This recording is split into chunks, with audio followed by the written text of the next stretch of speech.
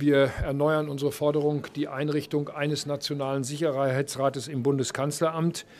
Wir kommen noch einmal zurück auf die 2% Zusage des BIP für den Etat der Bundeswehr. Der Bundeskanzler hat, wie Sie alle vermutlich äh, erinnern, am 27. Februar 2022 zugesagt, 100 Milliarden Sondervermögen für die Bundeswehr und ab sofort mindestens 2 Prozent des BIP für die Bundeswehr zur Verfügung zu stellen. Da bleiben wir leider erneut weiter dahinter.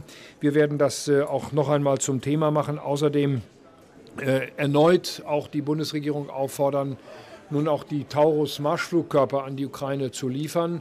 Das wäre eine Waffe, die der Ukraine sehr helfen könnte, insbesondere die Nachschubwege für russisches Kriegsmaterial äh, nachhaltig zu beschädigen und möglicherweise dauerhaft zu zerstören. Dieser Antrag wird am Donnerstag von uns dann noch einmal gestellt.